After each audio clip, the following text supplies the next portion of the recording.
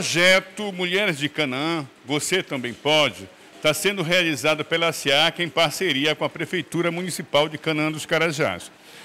Hoje dá início às aulas práticas, tanto de artesanato como panificação. São grande a expectativa das pessoas, tanto da coordenação quanto dos alunos, sobre o início da aula prática. Vamos ver o que eles dizem. A Star Coach, ela está ministrando os cursos Mulheres de Canaã. Né? Você também pode.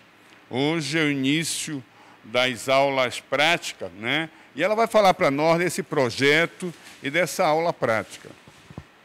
Bom dia.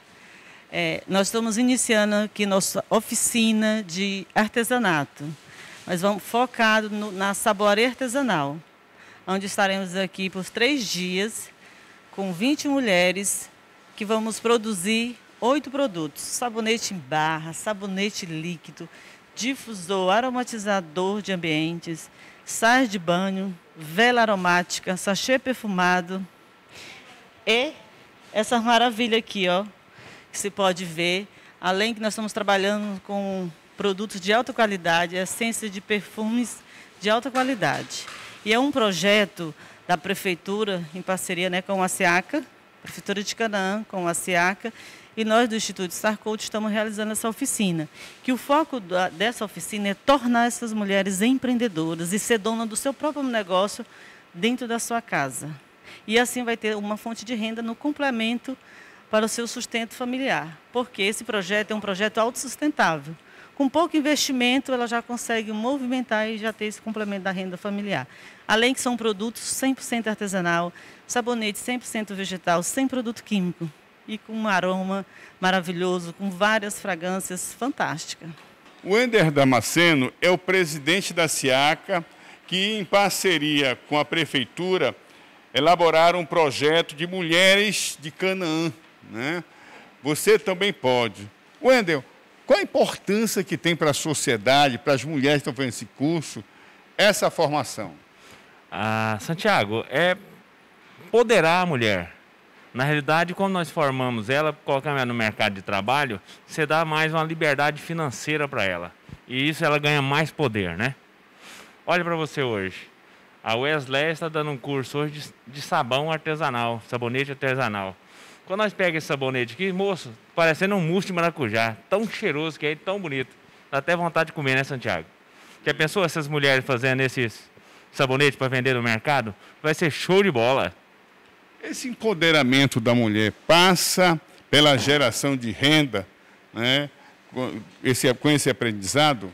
Com certeza. Aquilo que a gente aprende e colocamos em prática é um conhecimento a mais, é uma fonte de renda a mais também. É, presidente, foram 100 pessoas que estão fazendo esse curso nesse primeiro momento. A possibilidade de renovar com a prefeitura, mas para uma outra quantidade de alunos, é, é, é fundamental? Ué, eu acredito que sim, porque quando você capacita as pessoas, mais pessoas estão como diz, capacitada no mercado, né? A Marisa é instrutora de panificação que faz parte do curso de gastronomia. Marisa, qual é a expectativa do início das aulas práticas? A expectativa é que eu consiga passar para os clientes o que eu sei da panificação, né? Que elas entendam a, todo o processo da panificação e dar, dar as aulas práticas para elas, para mim vai ser ótimo, porque elas estão bem interessadas e eu espero que elas levem para elas e consigam trabalhar em casa mesmo ou consigam uma colocação no mercado através desse curso. É, quantas horas de aula são e qual o tempo que vai durar?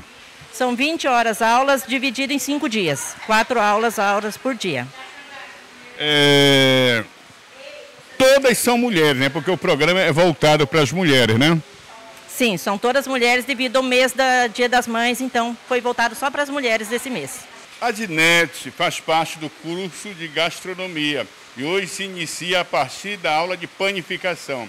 Dinete, você vai aprender a fazer pão hoje, né, no curso de gastronomia. Né, outros conteúdos virão.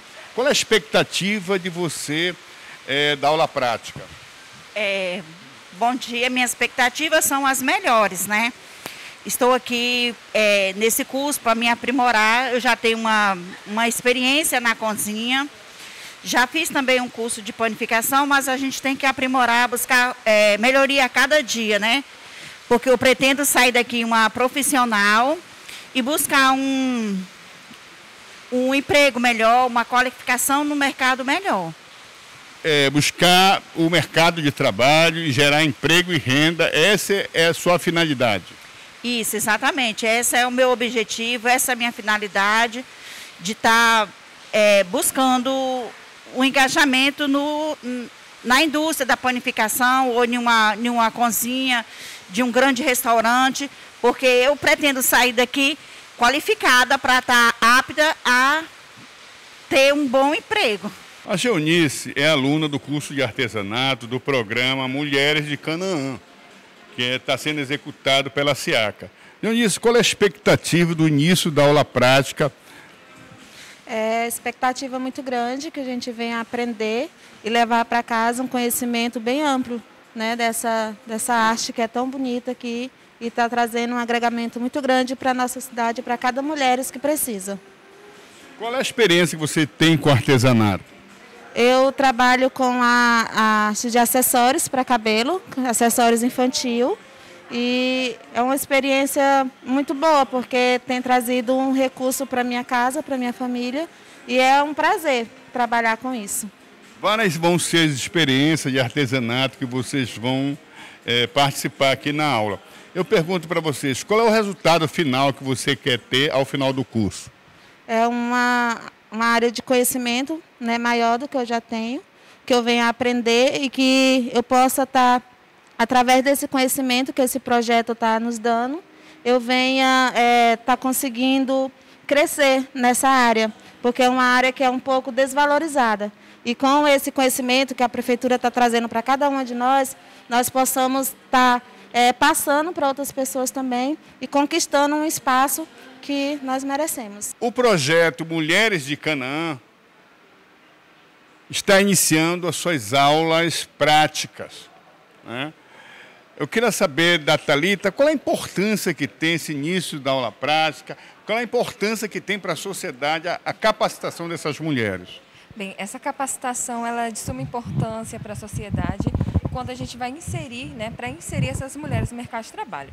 A gente sabe que hoje, é, para adentrar nesse mercado, a gente precisa ser qualificado e é esse o intuito da prefeitura, em parceria com a SIACA, é nós capacitarmos e qualificarmos essas mulheres de forma eficiente, como vocês podem ver, né, como vai ser mostrado na matéria e na live hoje, essa aula prática com os professores ótimos, maravilhosos, experientes nessa área.